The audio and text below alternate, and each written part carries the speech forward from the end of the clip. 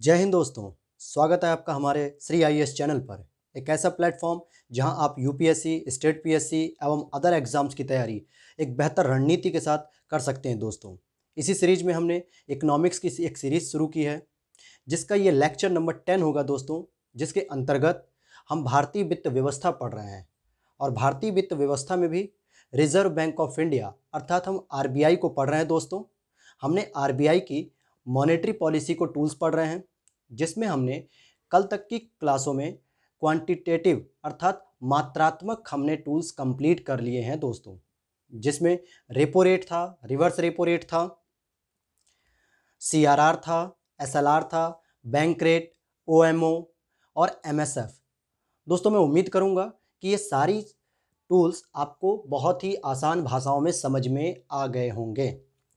दोस्तों, इनिंग का प्रयोग आगे भी होगा। लेकिन आज हम दोस्तों, मौद्रिक नीति से संबंधित जो चयनात्मक था, चयनात्मक टूल्स का आज हम प्रयोग करेंगे और उसको भी आज ही हम कंप्लीट करेंगे दोस्तों। तो आइए दोस्तों, आज हम अपनी क्लास पर चलते हैं। चलिए दोस्तों, देखते हैं हम आज के टॉपिक को।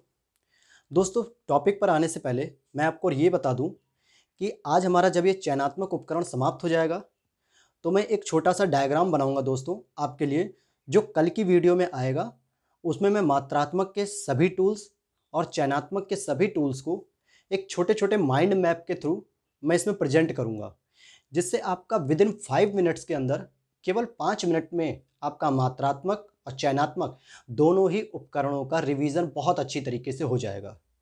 दोस्तों, मैं डायग्राम के बेसिस से एरो के माध्यम से, इनके माध्यमों से मैं आपको बहुत ही बेहतर जो है कि तरीके से एक डायग्राम प्रस्तुत करूँगा, जिसमें आप पूरे के पूरे मौद्रिक नीति के उपकरणों को पढ़ के बहुत ही आसान भाषा के साथ पाँच मिनट में पूरा रिवीजन कर लेंगे।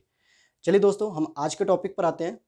और दोस्तों, कल हम लोगों ने जब ओपन मार्केट ऑपरेशन कंप्लीट किया था, अर्थात मात्रात्मक कंप्लीट हुआ था तो उसी से संबंधित दो नोट्स मैंने बनाए हैं। आइए जरा हम उसको बात कर लेते हैं। एक इंपॉर्टेंट नोट है दो। दोस्तों, व्यवहारिक पक्ष है। लिखा है कि यह अनिवार्य नहीं है कि रेपो रेट जब बढ़ जाएगी तो लिक्विडिटी में सदैव कमी आए। परंतु सीआरआर बढ़ने से लिक्विडिटी में कमी सदैव आएगी। मुझे उम्मीद है दोस्तों, अब तक आप समझ गए होंगे। लेकिन मैं बताना चाहूँगा कि रेपो रेट दोस्तों, जब बैंक बढ़ा देती है, कौन सी बैंक? केंद्रीय बैंक। अर्थात आरबीआई जब अपनी रेपो रेट को बढ़ा देती है तो बहुत सारी जो कमर्शियल बैंक हैं, जो व्यावसायिक बैंक हैं PNB SBI Bank of Baroda इस तरीके की बैंक कहती हैं कि हम अभी आरबीआई से लोन नहीं लेंगे। समझिएगा दोस्तों, हम अभी आरबीआई से लोन नहीं लेंगे क्योंकि आरबीआई लोन महँगा दे रहा है। लेकिन दोस्तों, इस, उन बैंकों के पास ये पूरी स्वतंत्रता है कि अपने पास उन्होंने जितना पहले से धन रखा है, वो तो अपना मार्केट में फ्लो कर सकती हैं। कर सकती हैं दोस्तों, अपने प्रॉफिट के लिए वो मार्केट में दे सकती हैं लोगों को, निवेशकों को दे सकती हैं कंज्यूमर को दे सकती हैं कस्टमर को दे सकती हैं दोस्तों। तो ये सारी चीज़ें। तो दोस्तों, आपने देखा कि जब रेपो रेट बढ़ा दी जाती है तो ये ज़रूरी नहीं है कि सभी बैंक उनसे पैसा लें या ना लें। सामान्यतः बैंक पैसा नहीं लेती हैं, लेकिन वो लिक्विडिटी को कम करने का प्रयास नहीं करती हैं। वो अपने प्रॉफिट के लिए पैसे को, वो अपने प्रॉफिट के लिए पैसों को ग्राहकों के पास पहुंचाती हैं, लोन के रूप में, निवेशकों के रूप में। तो दोस्तों, ये बताइए, जब बैंक ने, अर्थात आरबीआई ने जब रेपो रेट बढ़ाया तो लिक्विडिटी में कमी ऑलवेज आएगी, ये ज़रूरी नहीं है। हमेशा आएगी, ये ज़रूरी नहीं है। लेकिन दोस्तों अगर सीआरआर की रेट बढ़ाएगी आरबीआई तो ज़रूर से ज़रूर लिक्विडिटी में कमी आएगी। क्योंकि दोस्तों, इसमें अनिवार्य रूप से बैंकों को अपना कुछ हिस्सा सीआरआर के रूप में केंद्रीय बैंक अर्थात आरबीआई के पास रखना होता है। जैसे ही आरबीआई सीआरआर की रेट बढ़ा देगी तो बैंकों को अधिक मात्रा में अपना पैसा आरबीआई के पास रखना होगा। और ये अनिवार्यतः बैंकों के पास कमी दिखाएगा, किसकी? लिक्विडिटी की कमी हो जाएगी और इसके माध्यम से हम इन्फ्लेशन को कंट्रोल कर सकेंगे। अर्थात बैंक के पास अधिक पैसा नहीं होगा कि लोगों को, ग्राहकों को, निवेशकों को वो लोन दे सके और बाज़ार में पैसे की तरलता कम हो जाएगी। तो ये एक पॉइंट था दोस्तों, जो आपको समझना था, बेसिक कॉन्सेप्ट में था कि आपको कंपेरिजन करना है कि सीआरआर का प्रभाव क्या होता है बैंक पर और रेपो रेट का प्रभाव क्या होता है। तो आपने क्या समझा? रेपो रेट बढ़ जाने का मतलब ये नहीं है कि अनिवार्य रूप से लिक्विडिटी कम हो जाएगी। लेकिन सीआरआर बढ़ जाने से ये श्योर है हंड्रेड परसेंट है कि आपकी लिक्विडिटी कम हो जाएगी बाज़ार में। सीआरआर के साथ साथ हम एसएलआर को भी रख सकते हैं दोस्तों। आइए, दूसरे पॉइंट पर हम देखते हैं दोस्तों। मैंने कल एक शब्द बताया था आपके लिए, साख सृजन। आज उसी से संबंधित एक शब्द आया है, साख नियंत्रण।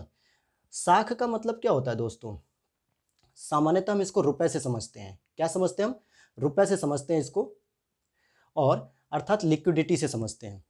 कहने का मतलब आपने दोस्तों पॉलिटी में आर्टिकल 360 का ज़िक्र पढ़ा होगा, जिसमें वित्तीय आपातकाल की स्थिति की बात की गई है। उसमें कहा जाता है कि अगर राष्ट्रपति को यह ज्ञात हो जाए या उसके संज्ञान में आ जाए कि भारतीय अर्थव्यवस्था की साख खतरे में है, अर्थात भारत की साख खतरे में है तो वो वित्तीय आपातकाल घोषित कर देता है। इसका मतलब क्या हुआ कि भारत में पैसों की कमी होने लगती है। तो आप समझ गए होंगे, साख का मतलब लिक्विडिटी और उस पर नियंत्रण अगर आरबीआई लगा रही है और मॉनेटरी पॉलिसी का काम क्या होता है? लिक्विडिटी पे नियंत्रण करना। तो दोस्तों, साख नियंत्रण क्या हो जाता है? मौद्रिक नीति को ही हम साख नियंत्रण कहते हैं। अर्थात मौद्रिक नीति के माध्यम से भी हम लिक्विडिटी पे कंट्रोल कर रहे हैं। इसीलिए अगर आपसे दोस्तों पेपर में पूछता है कि साख नियंत्रण किसके द्वारा किया जाता है तो आप कहेंगे आरबीआई के द्वारा किया जाता है। क्यों? क्योंकि वो लिक्विडिटी पे नियंत्रण कर रहा है। अर्थात मौद्रिक नीति के माध्यम से मुद्रा स्फीति अर्थात साख नियंत्रण कर रहा है। वहीं दोस्तों जब साख सृजन, इंग्लिश में आप देखेंगे किसी चीज़ का क्रिएशन करना, किसी चीज़ को बनाना, और यहाँ पर बैंकों के द्वारा दोस्तों साख सृजन किया जाता है, जो अपना वो प्रॉफिट अर्जित करने के लिए, ताकि वो लाभ कमा सकें। दोस्तों, हम जो पैसा बैंकों में रखते हैं, उसका कुछ हिस्सा बैंक हमारे नाम से अपने पास रख लेता है और कुछ हिस्सा जो है कि वो दूसरे व्यक्ति को लोन के रूप में देता रहता है। इसका मतलब ये नहीं है कि आप कहेंगे, सर, मेरा पैसा क्यों दे रहे हो? आपको जब भी आप पैसा चाहिए होगा, आपको आपका पूरा पैसा मिलेगा, क्योंकि आपने टाइम डिपॉजिट नहीं किया, बल्कि डिमांड डिपॉजिट किया है। मैंने दोस्तों, एनडीटीएल में बता दिया था आपको विस्तार से कि डिमांड डिपॉजिट और टाइम डिपॉजिट में क्या अंतर होता है। डिमांड डिपॉजिट में दोस्तों, आप किसी भी समय अपना पैसा निकाल सकते हैं, लेकिन टाइम डिपॉजिट में एक निश्चित समय पर निकालते हैं। तो दोस्तों, आप ये मत सोचिए कि आपने बैंक में पैसा जमा किया और आपका पैसा किसी और को दे दिया और आपके पास अब पैसा नहीं मिलेगा। ऐसा बिल्कुल नहीं है। बैंक हमारे पैसे का कुछ हिस्सा अपने पास रख लेती है सुरक्षा के रूप में मा बिल्कुल मिनिमम रूप में, और बाकी 80 परसेंट, सत्तर परसेंट वो पैसा आगे लोगों को देती रहती है। और उसी के माध्यम से वो अपना प्रॉफिट कमाती है दोस्तों। इसी को हम कहते हैं साख सृजन करना। अगर बैंक प्रॉफिट नहीं कमाएगी तो वो घाटे में चली जाएगी और दिवालियापन हो जाएगा। कल दोस्तों मैं एक छोटा सा डायग्राम आपको बताऊँगा कि बैंक अपना प्रॉफिट अर्थात साख सृजन कैसे करता है। आइए दोस्तों, अब हम आज के टॉपिक पे आते हैं चयनात्मक उपकरणों में, जो बहुत छोटे छोटे हैं और तीन उपकरण हैं दोस्तों मुख्य रूप से। आइए, पहले की हम बात करते हैं दोस्तों दोस्तों हम देखते हैं पहला वाला। फ़र्स्ट मार्जिन सीमांत निर्धारण। आप एक कॉमन शब्द बताइए दोस्तों। जब आप किसी दुकान पर जाते हो और आप कहते हो कि, सर, मुझे ये जींस खरीदनी है। कितने की होगी? तो दुकानदार कोई भी रेट बताता है और आप उसको घटा के कहते हो, नहीं सर, मैं इतना रुपए दे पाऊँगा और आप मुझे इतने में ही ये जींस दे दीजिए। तो वहाँ आपने एक कॉमन शब्द सुना होगा दोस्तों। कि दुकानदार कहता है कि, साहब, इतने में तो मुझे खरीद भी नहीं पड़ती है। अर्थात मेरा मार्जिन नहीं निकलेगा। मार्जिन का मतलब दोस्तों कि मैं कम से कम उतना तो कमा लूँ जितने पर मैंने खरीदी है। मैं घाटे में ना जाऊँ दोस्तों। दुकानदार ये कहता है कि, सर, मेरा तो इतने में ख़रीद भी नहीं आएगी या मेरा मार्जिन ही नहीं निकलेगा। मैं आपको इतने कम रुपए में जींस नहीं दे सकता हूँ। तो उसी से संबंधित है दोस्तों कुछ यहाँ पर भी मार्जिन शब्द। आइए एक एक करके बहुत आसान शब्दों में समझते हैं हम लोग। लिखा है दोस्तों, आरबीआई द्वारा। फोकस करना दोस्तों, ये सब आरबीआई ही लगा रही है, इसलिए द्वारा लिखा हुआ है। ऋण विशेष पर मार्जिन की न्यूनतम सीमा निर्धारित की जाती है, अर्थात व्यावसायिक बैंकों द्वारा ऋण देने वाली राशि का न्यूनतम मार्जिन स्वयं के पास रखना होता है। दोस्तों, अभी तो यहाँ पे आपको परेशानी हो रही होगी कि सर ये क्या लिखा है आपने, समझ में ही नहीं आया। आइए मैं समझाता हूँ। आरबीआई द्वारा जब ऋण विशेष पर ऋण दोस्तों कौन देता है? सामान्य अर्थों में बैंक के ये कार्य होते हैं कि वो जमा स्वीकार करती है और ऋण देती है दोस्तों। तो जो ऋण देने की जो लिमिट होती है, मान लीजिए एसबीआई कुछ ऋण देती है तो उसकी एक न्यूनतम सीमा निर्धारित कर दी जाती दोस्तों। न्यूनतम सीमा निर्धारित कर दी जाती आरबीआई के द्वारा कि आप किसी भी व्यक्ति को अगर आप ऋण दे रहे हैं तो बदले में वो व्यक्ति कुछ ना कुछ गिरवी रखेगा आपके पास। तो उस गिरवी वाली वस्तु के सापेक्ष आपको कुछ परसेंट मार्जिन रखना होगा अपने पास। अब समझना इसका आसान भाषा में दोस्तों। मान लीजिए आपने ज़मीन दस लाख रुपए की आपकी ज़मीन है और आप बैंक के पास जाते हो और आप कहते हो, सर, ये ज़मीन रख लीजिए, ज़मीन के कागज़ रख लीजिए, इसकी कीमत दस लाख रुपए है और आप मुझे दस लाख रुपए का लोन दे दीजिए। सामान्यतः तो यही करते हैं हम लोग। बैंकों के पास जाते हैं, ज़मीन के कागज़ देते हैं और ज़मीन की कीमत दस लाख रुपए है तो हम कहते हैं कि बैंक से कि मैनेजर साहब, आप हमें दस हज़ार, दस लाख रुपए दे दीजिए। लेकिन दोस्तों, यही बात आती है मार्जिन की। बैंक क्या कहता है? क्या आपको दस लाख की ज़मीन पे पूरा दस लाख रुपए लोन देता है? बिल्कुल नहीं देता है। वो क्या कहेगा?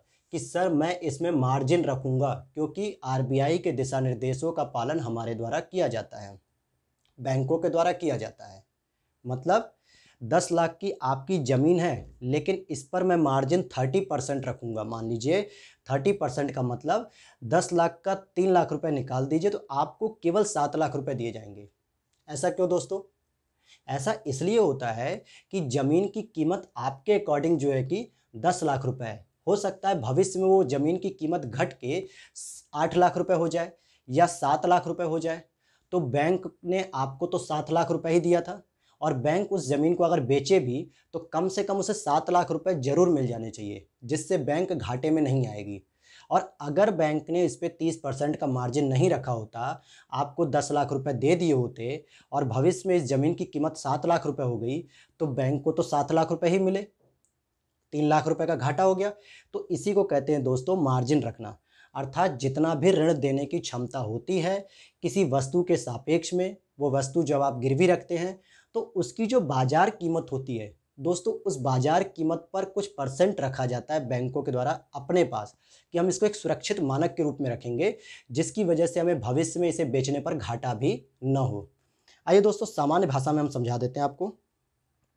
मुझे उम्मीद है कि थोड़ा सा आप समझ गए होंगे। एक एग्ज़ाम्पल से समझेंगे, दोस्तों, और क्लियर हो जाएगा। देखिए दोस्तों, अगर मान लीजिए आरबीआई ने कहा कि जब भी आप एक लाख रुपए का लोन देंगे किसी को तो आप उस पर तीस परसेंट का मार्जिन रखेंगे। और फिर हमें कितना लोन मिला टोटल? सत्तर हज़ार रुपये दोस्तों। सॉरी दोस्तों। देखिए, आप ज़मीन का एक कागज़ लेके आए और आपने कहा बैंक मैनेजर से कि, सर, ये एक लाख रुपए की ज़मीन का कागज़ है और आप मुझे एक लाख रुपए दे दीजिए लोन इस ज़मीन के कागज़ के बदले। आरबीआई ने कहा है कि आपको ऐसे एक लाख रुपए के कागज़ों पे तीस परसेंट का मार्जिन रखना है। तो आपको एक लाख रुपए नहीं, बल्कि सेवेंटी थाउज़ेंड रुपीज़ ही दिए जाएँगे। ताकि भविष्य में इस ज़मीन की कीमत अगर घटेगी भी तो मिनिमम से मिनिमम सत्तर हज़ार रुपये का प्रॉफिट मतलब सत्तर हज़ार रुपये बैंक को मिल जाने चाहिए। आप कहेंगे, सर, हम हम भी तो पैसा देंगे तो आपकी ज़मीन के कागज़ को बेचेगा वो? तो बिल्कुल अच्छी बात है। अगर आप अपनी ज़मीन के बदले जो लोन लेते हैं और उस लोन को सही समय से चुकता करते हैं तो दोस्तों बैंकों की समस्याएँ बहुत कम हो जाती हैं। लेकिन दोस्तों कई लोग ऐसे होते हैं जो भगोड़े हो जाते हैं लोन ले लेते हैं, किसी वस्तु या किसी बिल्डिंग या किसी फार्म हाउस के आधार पर गिरवी रख के और दोस्तों उसके बाद वो पैसा बिना दिए ही भाग जाते हैं देश छोड़कर या कहीं भी भगौड़ा घोषित हो जाते हैं। तो ऐसी स्थिति में बैंक क्या करेगा? उस आदमी को तो बेचेगा नहीं दोस्तों। उस आदमी के द्वारा या उस निवेशक के द्वारा जो संपत्ति गिरवी रखी गई थी, उसी को तो बेचेगा।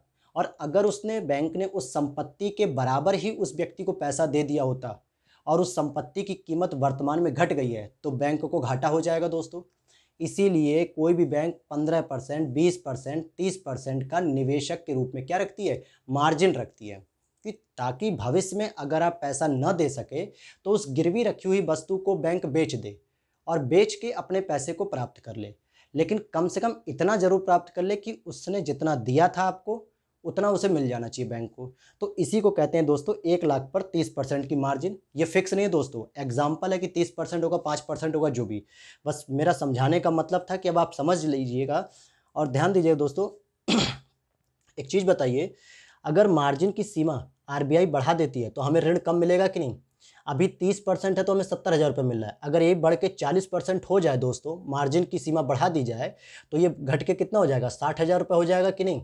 यानी हमें साठ हज़ार रुपये मिलेगा और ऐसे में हमें ऋण कम मिलेगा। इसका मतलब बैंकों को प्रॉफिट कब होगा? जब मार्जिन की सीमा कम होगी, यानी ये घट कर अगर 20 परसेंट हो जाए तो वो अधिक से अधिक लोन दे सकेगा। और जितना अधिक वो लोन देगा बैंक, उतना ही उसको प्रॉफिट अधिक मिलेगा। तो दोस्तों, हम पढ़ क्या रहे हैं? हम पढ़ रहे हैं चयनात्मक उपकरण किसके लिए? मौद्रिक नीति के लिए, अर्थात इन्फ्लेशन को कंट्रोल करने के लिए, अर्थात कि लिक्विडिटी के प्रवाह को कंट्रोल करने के लिए दोस्तों। तो लिक्विडिटी के प्रवाह को अधिक से अधिक जो है कि बाज़ार में न जाने दिया जाए, इसके लिए क्या करेगी? आरबीआई मार्जिन को सामान्यतः बढ़ा देगी। मार्जिन को सामान्यतः बढ़ाएगी और बाज़ार में कम ऋण पहुंचेगा। जिसके लिए दोस्तों हम कहेंगे कि मार्जिन में परिवर्तन जब होगा तो ऋण के आकार में भी परिवर्तन होगा। अब आप समझ गए होंगे दोस्तों कि ऋण के आकार में कैसे परिवर्तन रहा है। आइए दोस्तों हम दूसरे को समझते हैं। साख राशनिंग है दोस्तों। साख राशनिंग का मतलब क्या होता है दोस्तों? एक तरीके से राशनिंग लगा देना, अर्थात एक सीमा लगा देना। आइए देखते हैं। आरबीआई के द्वारा व्यावसायिक बैंकों की ऋण योग्य ऋण, दो बार लिख गया दोस्तों ये, ऋण योग्य राशि पर ऊपरी सीमा लगा देना, अर्थात अपर लिमिट लगा देना। इसका मतलब क्या होता है दोस्तों? आरबीआई कहती है व्यावसायिक बैंकों को कि आप जितना ऋण दे सकते हैं, उनकी भी एक लिमिट होती है कि वो कितना ऋण दे सकते हैं। अगर मान लीजिए कि वो दस लाख रुपए ऋण दे सकते हैं तो क्या कहेगा कि आप दस लाख ऋण पूरा दे सकते हैं टोटल, लेकिन आपको क्या करना है कि इंडस्ट्री सेक्टर में तीस परसेंट देंगे केवल, उससे अधिक नहीं दे सकते। सामान्यतः बैंक किसको ऋण देना चाहती दोस्तों? गरीब किसानों को वो देना नहीं चाहते हैं। उनके साथ पूरे कागज़ की कार्रवाई करते हैं, क्योंकि उनको ऐसा लगता है कि हमारे गरीब किसान भाई अपना ऋण वापस नहीं चुका पाएँगे, जिसकी वजह से बैंकों की एनपीए लगातार बढ़ती जाएगी। एनपीए का मतलब दोस्तों, एक ऐसी एसेट नॉन परफॉर्मिंग एसेट यानी कि लोग, बैंकों को लगेगा कि अब ये हमारा पैसा डूब जाएगा। हम बैंकों के चैप्टर में, दोस्तों एनपीए बहुत डिटेल से पढ़ने वाले हैं। यहाँ पे बस आपने इतना समझ लीजिए। एनपीए का मतलब जो पैसा ऐसा लगे कि अब ये डूबने वाला है। तो बैंक क्या करती किसान भाइयों को नहीं देती हैं। सारा का सारा पैसा इंडस्ट्री सेक्टर को दे देती हैं ताकि इंडस्ट्री पे प्रॉफिट भी अधिक है और वो लोग निश्चित समय पर जो है कि बैंकों का पैसा वापस भी कर देती हैं। यहाँ पर समस्या दोस्तों ये आ जाती है कि अगर हम इंडस्ट्री को ही लगातार पैसा देंगे और हेल्थ में नहीं देंगे तो स्वास्थ्य सुविधा अच्छी नहीं होगी, शिक्षा में नहीं देंगे तो शिक्षा नहीं अच्छी होगी, गरीब किसानों को नहीं देंगे तो कृषि अच्छी नहीं होगी तो इसीलिए वो एक ऊपरी लिमिट लगाता है आरबीआई, जिससे आप उससे अधिक ऋण नहीं दे सकते। इसका उद्देश्य क्या होता है दोस्तों? कि जो मुद्रा का प्रवाह है आरबीआई के द्वारा, वो चाहता है कि लिक्विडिटी वांछित क्षेत्रों में भी उपलब्ध हो सके। अर्थात कृषि को भी मिलती रहे, शिक्षा को भी मिलती रहे, एमएसएमई को भी मिलता रहे, इंडस्ट्री को भी मिलता रहे। सबका विकास होना चाहिए। इसी को कहते हैं दोस्तों कि मौद्रिक नीति के साथ ग्रोथ का भी ध्यान रखना। अर्थात इन सेक्टर में भी मिलते रहना चाहिए। मान लीजिए बैंक अपने पूरी राशि का सेवेंटी परसेंट ही केवल लोन दे सकता है। अगर उसने पूरा का पूरा पैसा इंडस्ट्री में दे दिया तो ये तीनों सेक्टर तो बर्बाद हो जाएँगे। इसीलिए बैंक ने कहा, अर्थात आरबीआई ने कहा कि आप इंडस्ट्री को केवल थर्टी परसेंट दे सकते हैं मैक्सिमम एमएसएमई को ट्वेंटी परसेंट दे सकते हैं एग्रीकल्चर को ट्वेंटी फाइव परसेंट दे सकते हैं। ये मैक्सिमम है दोस्तों, इससे अधिक आप नहीं दे सकते। और आप बताइए, अगर सत्तर परसेंट ऋण में से तीस परसेंट अगर इंडस्ट्री को दे देगी बैंक तो बाकी फोर्टी परसेंट तो अपने पास नहीं रखेगी दोस्तों, क्योंकि उसका तो उद्देश्य लाभ कमाना। इसीलिए वो मजबूरन एमएसएमई को भी देगी, शिक्षा को भी देगी, कृषि को भी देगी, स्वास्थ्य को भी देगी। इसके माध्यम से आरबीआई ने सभी क्षेत्रों में विकास की एक संभावनाओं का रास्ता खोल दिया। अब आप समझ गए होंगे दोस्तों कि इसी को हम कहते हैं साख राशनिंग, अर्थात एक कोटा निर्धारण कर देना। कोटा निर्धारित कर दिया जाता है कि आप किसी सेक्टर में कितना मैक्सिमम दे सकते हैं। सारा पैसा नहीं देंगे, कुछ ही पैसा देंगे। बाकी पैसा आप दूसरे सेक्टरों में भी धीरे धीरे देते जाएँगे। आइए, तीसरा हम देखते हैं दोस्तों, एक नैतिक दबाव है, जिसमें शब्द में ही लिखा हुआ है नैतिक दबाव मोरल अपील दोस्तों, नैतिक दबाव का मतलब होता है कि बैंकों पे बाध्यकारी नहीं होगा, पहली चीज़। आइए, इसको भी समझ लेते हैं बहुत इजी भाषा में। आरबीआई द्वारा जब अपील की जाती है कि ब्याज दरों में परिवर्तन आरबीआई के अनुसार करें, व्यावसायिक बैंक। मतलब जब रेपो रेट बढ़ा दी जाती है, आपको पता है रेपो रेट क्यों बढ़ाई जाती है? कि मार्केट में लिक्विडिटी न बढ़ सके। और अभी मैंने आज की क्लास में जो नोट में, नंबर वन पॉइंट लिखवाया था नोट में, कि दोस्तों, आरबीआई के द्वारा जब रेपो रेट बढ़ाई जाती है तो ये कोई ज़रूरी नहीं है कि सभी बैंक अपनी रेट को बढ़ा के महँगा लोन दें। वो अपना सस्ता लोन भी दे सकते हैं, क्योंकि उन्होंने जब आरबीआई की सस्ती रेपो रेट थी, तभी बहुत सारा पैसा ले लिया था। तो वो उसी सस्ती रेट पर दे रहे हैं और मार्केट में लिक्विडिटी का फ्लो होता जा रहा है। और रेपो रेट के बढ़ने के बावजूद रेपो रेट के बढ़ने के बावजूद लिक्विडिटी में कोई कमी नहीं आ रही है।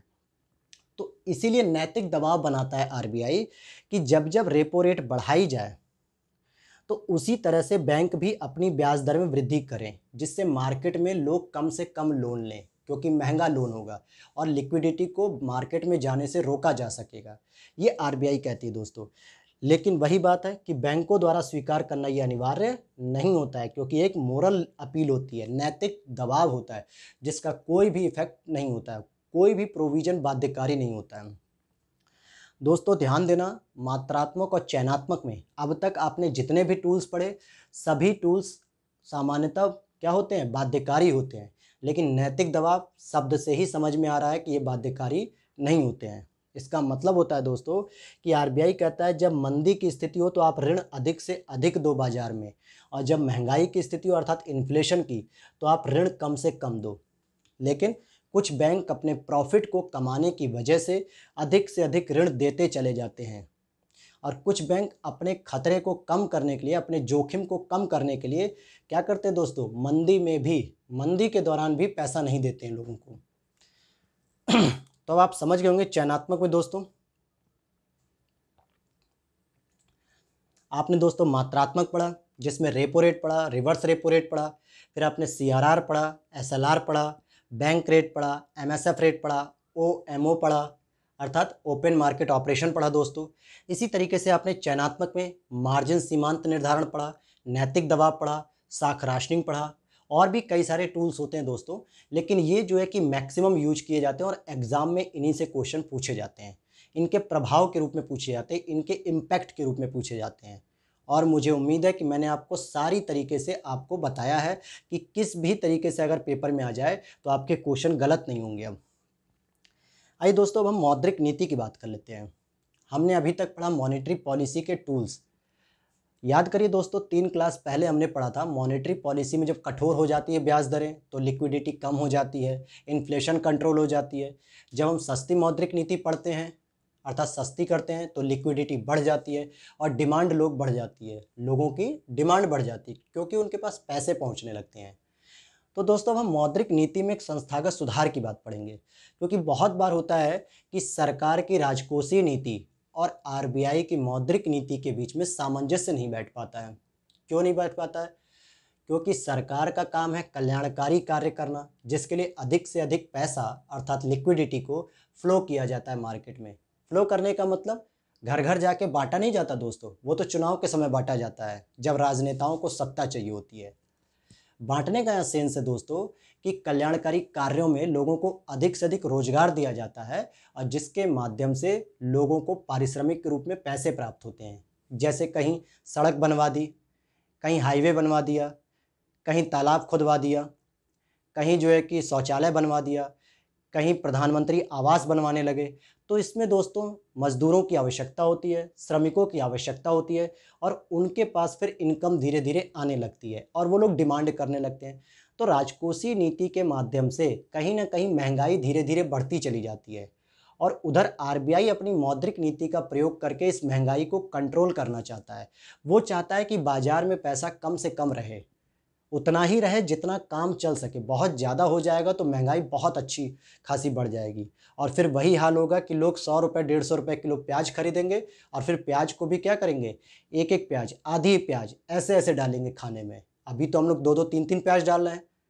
उस समय क्या होता है जब सौ रुपये डेढ़ सौ किलो रुपये प्याज हो जाती तो? देख कर प्याज डाली जाती दोस्तों कि आधी प्याज डालो, आधी कल डाल देना। ये महँगाई का प्रभाव है जो हमारे मध्यम वर्ग और गरीब परिवारों की रोटी पर पड़ता है, थाली पर उसका प्रभाव दिखता है कि प्याज ही गायब हो गई, दाल ही गायब हो गई, इतनी महँगी दाल हो गई। तो दोस्तों, इसीलिए मौद्रिक नीति आरबीआई की, राजकोषीय नीति, सरकार की, इनके बीच में सामंजस्य बढ़ाने के लिए मौद्रिक नीति में हमने संस्थागत सुधार की बात की है।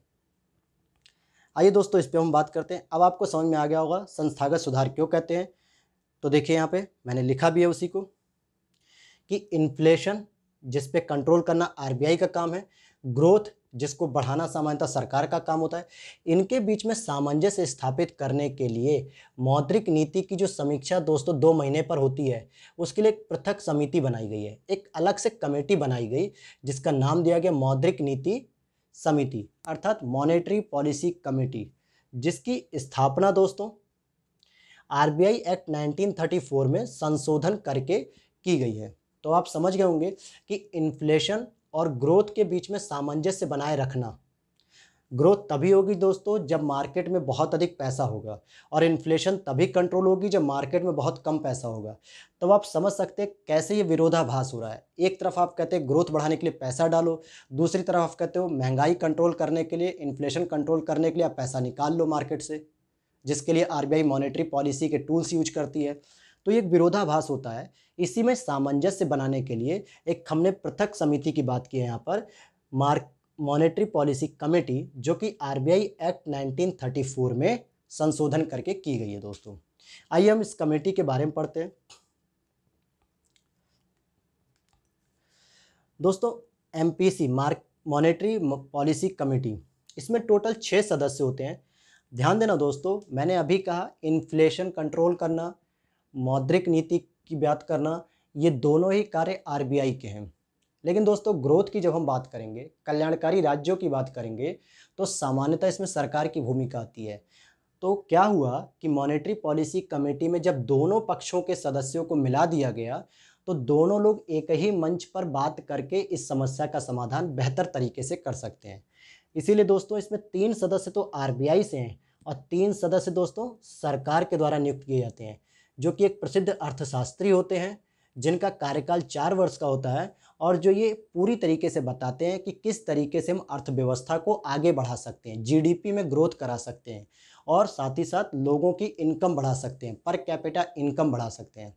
तो दोस्तों, ये तो अपना पक्ष रखेंगे। वहीं आरबीआई में आरबीआई के मेंबर की बात करें तो दोस्तों आरबीआई में एक गवर्नर होते हैं एक डिप्टी गवर्नर होंगे और एक केंद्रीय बोर्ड से होते हैं दोस्तों। अब आपको समझ में आ रहा होगा, जब मैंने आरबीआई की क्लास में पहले दिन बताया था कि आरबीआई संरचना में सबसे टॉप पर गवर्नर थे, फिर चार डिप्टी गवर्नर थे, इसी में रीजनल गवर्नर भी थे, दस निदेशक भी थे सरकार के, दो प्रतिनिधि वित्त मंत्रालय से थे। तो ये वहीं से हैं दोस्तों एमपीसी में आए हुए सदस्य। तीन सदस्य सरकार ने गठित किए प्रसिद्ध अर्थशास्त्री के रूप में, जो ग्रोथ को ध्यान में रख के फोकस करते हैं। और तीन सदस्य आरबीआई के हैं, जो सामान्यतः मॉनेटरी पॉलिसी अर्थात इन्फ्लेशन पर ध्यान देते हैं। और हमारा उद्देश्य क्या है दोस्तों? इन्फ्लेशन और ग्रोथ में सामंजस्य रखना। और सामंजस्य कब होगा? जब दोनों ही क्षेत्र के विधिवेत्ता एक साथ एक मंच पर उपलब्ध होंगे तो दोनों ही लोग मिल के आपस में बात करेंगे और समाधान निकालेंगे। आइए दोस्तों आगे ध्यान दीजिएगा, इसमें एक क्वेश्चन बन जाता है कि मॉनेटरी पॉलिसी में जो सरकार के सदस्य नियुक्त होते हैं, उनका कार्यकाल कितना होता है? चार वर्ष। और दोस्तों आरबीआई के जो सदस्य होते हैं, उनका जब नियुक्ति हुई थी इस पद पर, उस समय जितना कार्यकाल था, बस वही बात रहती है, वही मान्य माना जाता है। इनके लिए अलग से कोई कार्यकाल नहीं होता है दोस्तों। आइए दोस्तों, आगे देखते हैं इस पर दोस्तों, इनके बीच में फिर आपस में एक निर्णय भी होता है किसी भी चीज़ के लिए कि मौद्रिक नीति में हम रेपो रेट कितनी रखें, रिवर्स रेपो रेट कितनी रखेंगे, बैंक रेट कितनी रखेंगे, अगर हम रेपो रेट बढ़ा देंगे तो ग्रोथ पे कैसा इम्पैक्ट होगा, रेपो रेट घटा देंगे तो इन्फ्लेशन पर कैसा इम्पैक्ट होगा, या लिक्विडिटी कैसी प्रवाह करेगी, इन सब के बारे में जो निर्णय होगा दोस्तों, वो बहुमत के द्वारा होता है। लेकिन आपको पता है कि छः सीटें हैं, अर्थात तीन आरबीआई से मेंबर तीन सरकार के। अगर छः लोग आपस में तीन तीन के दायरे से बट जाएँ मतलब तीन लोग पक्ष में हैं और तीन लोग विपक्ष में हैं तो दोस्तों बहुमत तो हुआ नहीं। दोनों ही पक्ष बराबर हो गए। ऐसी स्थिति में निर्णय करने के लिए जब मत बराबर हो जाते हैं तीन तीन करके तो दोस्तों ऐसी स्थिति में गवर्नर, जो कि आरबीआई गवर्नर होते हैं, उनको एक मत प्राप्त होता है एक्स्ट्रा, जो क्या देते हैं? निर्णायक देते हैं कि वो जिस तरफ़ भी अगर एक मत दे देंगे वही निर्णय मान लिया जाएगा। अगर इधर एक मत दे दिया तो ये चार हो गया। अगर इधर दे दिया तो ये चार हो गया। तो जिधर भी बहुमत बढ़ जाएगा, फिर वो निर्णायक मत के रूप में मान लिया जाएगा। समझ में आ गया दोस्तों? और साथ ही ये जो रिपोर्ट बनेगी दोस्तों, उसको जनता के समक्ष सार्वजनिक भी किया जाएगा। अर्थात आरबीआई की वेबसाइट पे, आरबीआई के पोर्टल पे मॉनेटरी पॉलिसी कमेटी रिपोर्ट को डाल दिया जाता है। आप लोग आरबीआई के पोर्टल पे जाके विज़िट करके आप लोग देख सकते हैं दोस्तों। आगे आइए दोस्तों। अगला टॉपिक है दोस्तों कि एमपीसी हमने जो बनाया, उसका उद्देश्य क्या था? क्यों हमने बनाया? तो वही है दोस्तों जो मैंने बताया कि इन्फ्लेशन का लक्ष्य प्राप्त करना four plus minus two percent इसका मतलब क्या है दोस्तों? फोर में से अगर हम टू घटा देते हैं तो टू परसेंट हो गया। और फोर में अगर हम टू जोड़ देते हैं तो सिक्स परसेंट हो गया। इसका मतलब दो परसेंट से लेकर छः परसेंट के बीच में हमें महँगाई को रखना है। अब ये दोस्तों किसी वस्तु की कीमत दो परसेंट से लेकर छः परसेंट के बीच में रहे, अर्थात महँगाई दो से छः परसेंट के बीच में रहती है तो अच्छी मानी जाती है हमारे आरबीआई के द्वारा। तो इसीलिए उसने जो आंकड़ा रखा है, four plus minus two percent. दूसरा दोस्तों, कि समीक्षा में पारदर्शिता आनी चाहिए और जवाबदेहता होनी चाहिए, क्योंकि जब सरकारी महकमे से तीन प्रसिद्ध अर्थशास्त्री हैं और आरबीआई के तीन सदस्य हैं तो इन दोनों के साथ मिल जाने पर पारदर्शिता और जवाबदेहता बढ़ जाती है कि ग्रोथ बढ़ाने के लिए कौन जवाबदेह है और मौद्रिक नीति के लिए कौन जवाबदेह है। वही दोस्तों, मौद्रिक नीति और राजकोषीय नीति में सामंजस्य रखना भी इसका एक उद्देश्य है। अब इस पॉइंट को बहुत आसानी से समझ गए होंगे अब आप। राजकोषीय नीति का मतलब कल्याणकारी खर्च उतना ही किया जाए जितना लिक्विडिटी मार्केट में सस्टेन करे। सस्टेन मतलब दोस्तों कि जितनी लिक्विडिटी हो जाने से कोई समस्या ना आए। बहुत अधिक कल्याणकारी कार्य करोगे तो बहुत अधिक लिक्विडिटी बढ़ जाएगी और जिसकी वजह से महँगाई जैसी समस्या लगातार बढ़ती चली जाएगी। और वहीं मौद्रिक नीति की बात होती है। और इन्फ्लेशन और ग्रोथ में संतुलन रखना, ये दोस्तों एमपीसी के उद्देश्य हैं। लेकिन दोस्तों, कुछ इसकी सीमाएँ भी हैं, जिनकी वजह से ये सही ढंग से काम नहीं कर पाती दोस्तों।